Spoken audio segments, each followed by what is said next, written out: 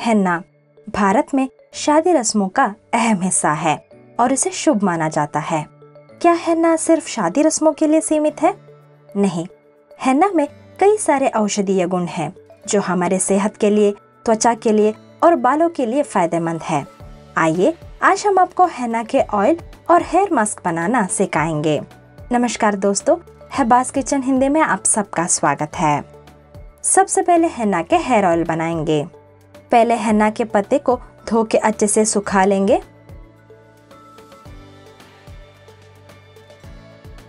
अब mixer jar में दो कप के करीब हेन्ना के पत्ते लेंगे। अब इसमें बिना पानी डाले इसे दरदरा पीसेंगे। कुछ इस तरह। अब एक कढ़ाई में 300 ml नारियल तेल लेंगे।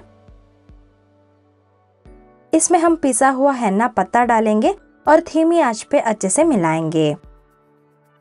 लोहे की कढ़ाई इस्तेमाल करने से तेल आयरन कंटेंट को अब्सॉर्ब करके बाल तेज़ी से बढ़ने में मदद करता है।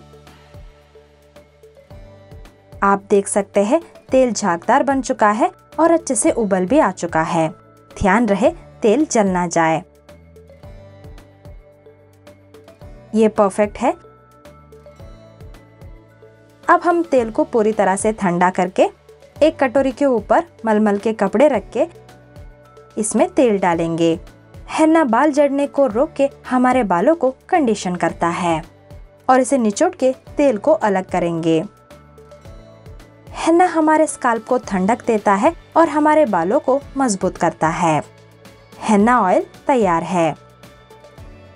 हेन्ना को आप नेचुरल हेयर डाई की तरह इस्तेमाल कर सकते हैं। आप इस तेल को लगा के एक आधे घंटे के बाद बाल धो सकते हैं। बेहतरीन रिज़ल्ट के लिए हफ़्ते में दो बार इस्तेमाल करें।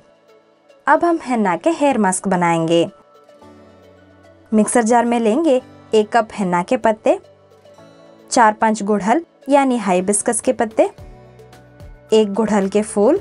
गुड़हल के फूल और पत्ते बालों के ग्रोथ के लिए बहुत ही फ़ायदेमंद है। दो बड़े चम्मच दही एक चौथाई कप टी डिकॉक्शन। और इसका बारीक पेस्ट बनाएँगे कुछ इस तरह चाय के काढ़ा से बालों में गहरा रंग आता है, पर आप चाहो तो स्किप भी कर सकते हैं। हेन्ना के हेयर मास्क तैयार है। बेहतरीन रिज़ल्ट के लिए महीने में दो से तीन बार इस्तेमाल करें। तो दोस्तों, कैसी लगी आज के ये हेन्ना के होम रेमेडी अगर वीडियो पसंद आई हो तो वीडियो को लाइक और शेयर कीजिए और वीडियो के बारे में हमें कमेंट करना ना भूलें। और हमारे चैनल को सब्सक्राइब कीजिए। मिलते हैं एक और नए रेसिपी के साथ। तब तक के लिए धन्यवाद।